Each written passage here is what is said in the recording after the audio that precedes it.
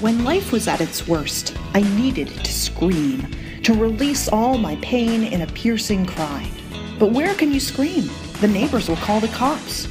I screamed in my car, the only place solitary and soundproof. But what if we could scream in church? I cried aloud to God, the psalmist says. What if churches were safe places not just to sing, praise, celebrate, but also to scream? Surely those walls could absorb our pain, because surely God can and does.